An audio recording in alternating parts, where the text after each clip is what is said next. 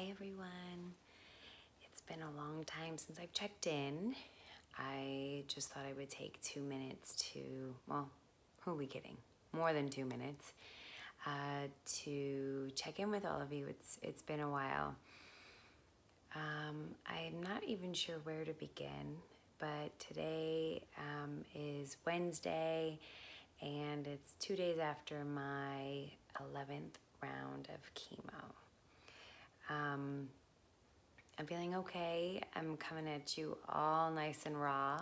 Um, I have quite a bit of red under my eyes. My nose is raw again, and I'm getting some really bad acne um, on my chest from what I assume is the Erbitux, the one that I know from the very beginning um, will give me a rash. So nice and raw for you all this morning, uh, but I'm feeling okay. I'm feeling a little run down today, and my mom actually had kind of mentioned that I seemed a little depressed today, and it kind of seemed like a good word to use because maybe I am a little bit. Um, it's just hard, you know. It's another week of chemo, another week of nothing tasting really good, and nothing really making me feel better. So it's just kind of, you know, I'm feeling a little blah today, but um, but before all of this, you know, just in the last couple of weeks, I've felt pretty good, you guys. I went on vacation and that was really great. Um, but I will say it was a lot harder than I had expected it to be. You know, I think I thought, oh, I'm gonna go on vacation and Gonna celebrate our cousins who had the most beautiful wedding. And again, I would have never wanted to miss it for the world. And I'm so happy I got to be there. But, um, you know, when we left Red Eye on Friday after Halloween, um, I knew it would be a little hard on us already. But what I didn't expect is for our flight to get canceled in Miami. So we were supposed to arrive Friday, Saturday morning before the wedding, uh, like around 9:30. So we'd have the whole day to rest and settle in, and then have um, Sunday for the wedding. Well, that didn't happen. Our flight got canceled uh, once we landed in Miami to Cancun, and we spent the entire day trying to get out of that airport. So we ended up getting a, um, late night flight at around six o'clock that got us into Cancun for one in the morning uh, on Sunday morning. So we left Friday night at 9.30 at night and arrived at around 1 a.m. Didn't close our eyes until 3 a.m. Sunday morning. And then uh, we woke up in Cancun, which is great, but only on about five hours of sleep. Had breakfast, got ready. Both Kirk and I were in the wedding. Got the bride ready. Um, and you know, guys, honestly, the day of the wedding was amazing. Like, I was so high on life and so happy to see everybody and just grateful to be there. But then um, by the third day, the next day after the wedding, I kind of hit a brick wall. And I think we all did. We all were tired just for having a good time, but it was just a brick wall like I've never felt before. I um, there was really very very little I could do to um, feel better. So I rested and I relaxed and hung out with everybody, but again, it took me quite a bit to recover. Um, there was a lot of walking, a lot of sun.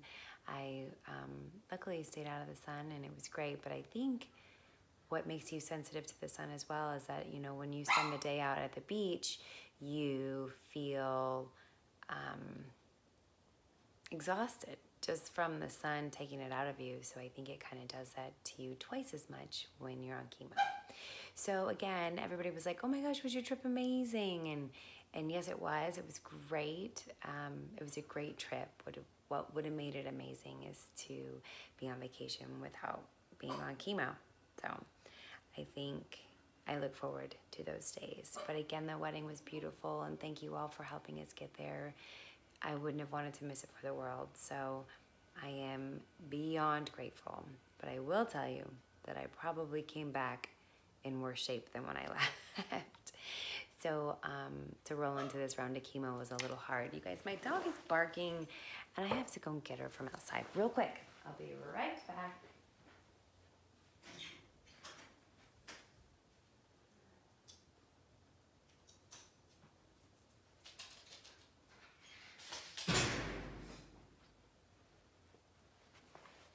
I'm back.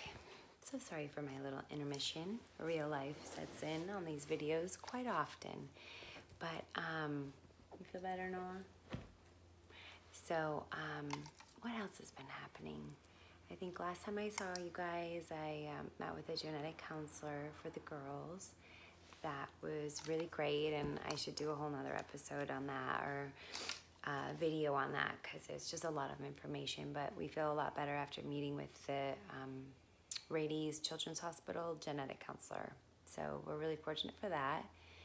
Um, I had a few visitors and some friends visit from out of town, and and honestly, you guys, um, you know, we're just working into the holidays. So I um, right now I'm supposed to get hit the week of Thanksgiving and the week of Christmas with chemo.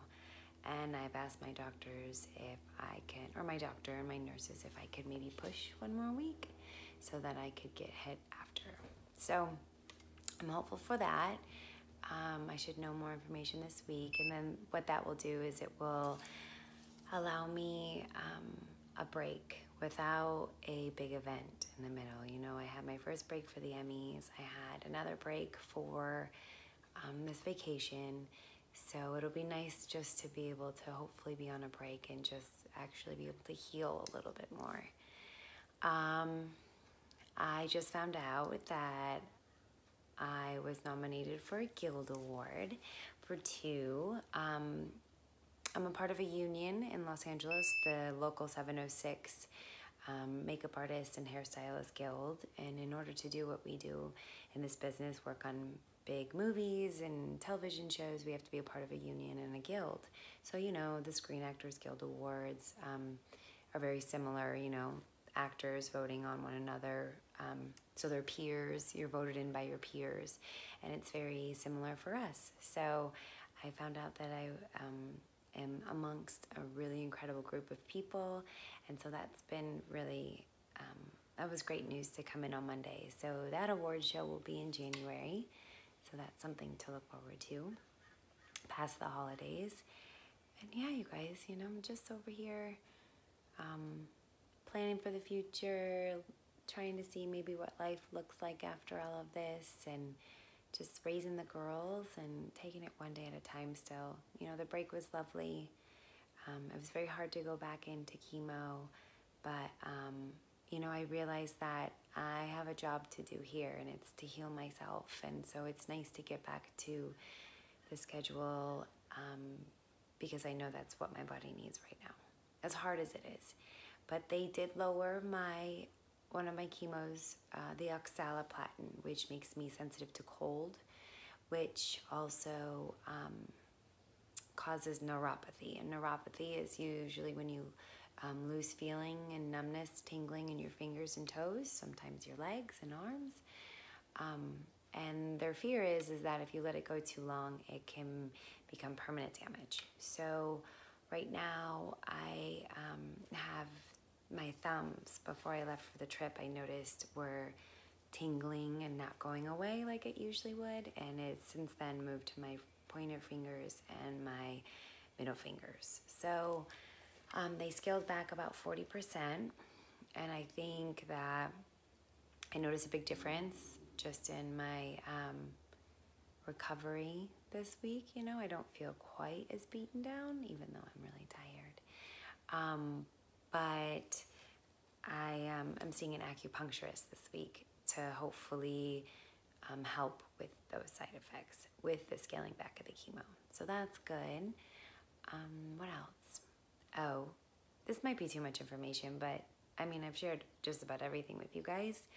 I actually um, started my period, and that might be too much for you, and I'm sorry. But what's really crazy about that is at the beginning of all of this, they said that I might be thrown into menopause. So I kind of expected to never have one again being that I was pregnant for nine, ten months. I was postpartum and then straight into this. So I really kind of didn't ex- see that coming. so um, that was a surprise this week, but it kind of feels like a good surprise in some ways because maybe my body's still able to function like a healthy woman um, in some ways. So it kind of confuses me on my uh, mm, what I, what I was using as an excuse as my menopause mustache because I've had an abnormal amount of hair growth on my face through this experience. But um, so I don't know if I can hold on to the menopause part anymore. Hmm.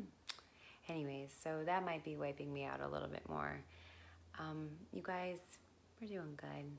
You know, we have a lot of help and a lot of support. My mom is leaving here shortly, and um, then we'll have my mother in law come back into town and hopefully finish out the year.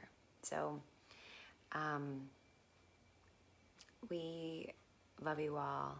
We feel you all. We see you all, and the support is still coming in like crazy. And and I still could use it. I um, it's a little harder right now. I think just because I'm really tired, but um, guys, we're getting through it, and I know it's working. I know it's working. I, I should get another PET scan at the end of um, December so before the new year so that'll be a really good check-in but my stomach feels a lot smaller and softer and you guys it, it's working and that's all i can do. I'm still working with spiritual healings and my diet i've kind of cracked down a little bit. I was getting a little loosey goosey on all that sugar but um, tighten it back up again. So i think that will help and we just keep doing and adding extra things here and there. So I think maybe when I'm feeling a little bit better, I'll check back in with you guys after um, this round of chemo and try and catch back up and, and fill you guys in on some other stuff that we've been doing. But I also think what I'm going to start doing as well is um, interviewing other people uh, that might be going through some similar situations that I am to kind of hear other people's stories and, and have them share their journeys and maybe just continue to help one another. So here's to the future and here's to growing this page and the support and love for one another. And remember, be kind to each other because you never know when that person one day might save your life. Thank you, and I hope you guys have a beautiful week.